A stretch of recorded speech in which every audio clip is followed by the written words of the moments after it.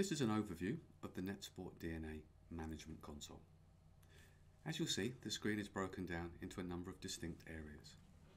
Along the top, on the left-hand side, we have the main component selection toolbar, starting with our home screen and moving through each of the key components included in the product.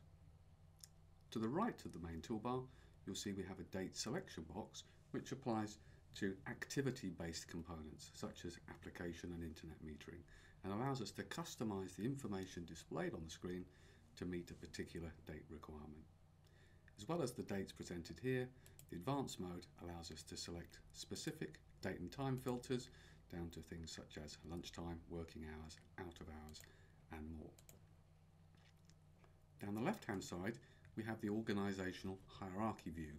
Here we can see our top license, in this case a test sale key, and you'll see we can drill down and see departments within the organisation as such, and within a department we can see individual PCs and alongside them we have an indicator for their platform type. As well as this key information, the display here can be customized using the drop down menu here to allow us to see information such as just the PC name, the PC name and the PC owner, PC name and last logged on name and so on. So we can customize the view to meet our requirements. In addition, we have two overlay badges that we can apply to this tree. One to identify any machines that have an outstanding alert, and the second to identify any machines that have an outstanding request for a USB memory stick to be authorized for use. Below the company hierarchy, we also have our dynamic groups. These are pre-supplied within NetSupport DNA, but can be added to using the custom query editor within NetSupport DNA. Dynamic groups are simply criteria-based groupings. So a good example will be, as presented here, all machines that have a 64-bit operating system If we expand that, you'll see it is a combination of machines from many different departments around the enterprise, and we have similar groupings for Android, iOS, machines with a certain amount of pre-installed memory, machines that have Office installed, and so on. Again, the key with our dynamic groups is these can be customized and added to to meet your own requirements. Finally, in the main view, we have our display window that by default shows us a high-level overview of activity across our enterprise. As we move between our tabs, you'll see this data changes to reflect particular component-based information. Let's return back to our home screen. You'll see for each of these menus, they are actually broken into two parts. The top part of the menu allows us to quickly access a component. The bottom part allows us to access features or fine-tune the information that we wish to display on the screen. You'll also note along the menu at the top here, we have a separation between PCs, users, devices, and discovered items. So by default, NetSupport DNA is presenting us with a company hierarchy showing all PCs that have been discovered and are managed on our network. Instead of looking at our enterprise from a device by device basis, we can switch to our user mode, which allows us to drill down and see all users that have been identified in the organization, and then we can track their activity even if they've been um, working on multiple machines across the enterprise. So this allows us to, to adapt and adjust our usage depending on our own requirements. So we can pick a user and we can see what activity, if any, that they've had on the system. Our next tab, Devices, allows us to identify and manage SNMP-enabled devices. So in addition to discovering and managing all PCs on the network, we can also, within the DNA environment, identify network switches, network-enabled printers and more. And once discovered, we can manage, drill down and see specific information. In this case, for a Cisco switch, we can see information against each interface and so on. As you'll see as we move between the components, the color scheme in the DNA console changes and our active menu changes to provide us with the options relevant to that component. Our final tab, Discovered, is currently empty and this is a new feature in DNA which allows the system to constantly poll the network and here will present any new machines that have been added to the network or discovered um, and present the, op the operator with the opportunity to add them to the DNA database and deploy an agent automatically onto them.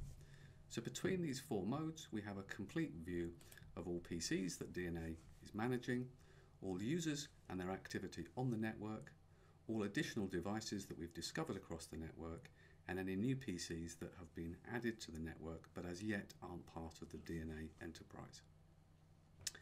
There are some extra bits that we can do to fine tune our view. You'll see we have our departments here.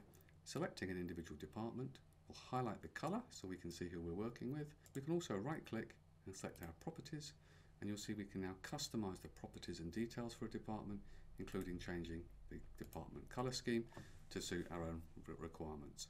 Now as we're sat here at the moment on the hardware inventory tab you'll also notice that clearly as I move between my departments the data presented adapts accordingly and for each component the right hand side of the toolbar changes to reflect that component's specific functionality. So in this case for hardware inventory, you'll see we have an inventory specific component. We have some criteria that we can apply to customize our view. Do we want to see hardware or contracts on the page? And what kind of chart do we want to display? And finally, we have a filter for the hardware inventory. So currently we're looking at CPU, but maybe we'd like to look at memory stats, BIOS information, and so on. And as we move to software inventory, again, you'll see that this display changes to meet the criteria. If we move to a date-based component, such as metering components, you'll see our date-based filter appears again as before. So throughout the product, no matter which component we select, we will always have quick access to key functionality um, on the right-hand side of the main toolbar. We also have some options that sit at the very top of the screen. And by default, we're on our home screen, But we can switch to our Tools menu, and as you'll see, this presents an entirely new view summarizing a number of the key features that we need within NetSupport DNA as supporting tools. They're grouped and broken down into key areas. So we have our query tool, which allows us to create custom views for accessing data. We have our system settings, which is important in terms of our ability to first set up the product and ensure we can access all of the key components and enable them for activity. We have our operator management that allows us to create during our evaluation or in ongoing use um, our operator roles and for any operator we can we can view the operator information and we can give access specifically to each and every component within the product at a very granular level.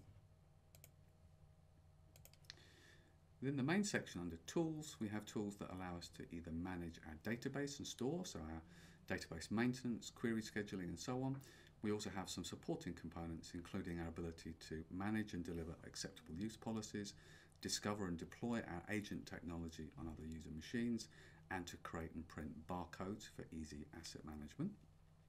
Our supporting remote tools include um, access to our remote control software, NetSupport Manager, messaging and chatting, and finally we have a status window that allows us to monitor in real time the activity of our DNA server and system or additional components. If we select the system, you'll see a menu appears on the right hand side as a view that allows us to see in real time system status, memory usage, the size of our queue, what current operators are online, and if our SNMP servers are functioning, and so on. And as before, we can simply jump back along this menu to our home screen. Thank you for viewing this tour. Please visit www.netsupportdna.com to find out more, or if appropriate, download a free 30-day trial.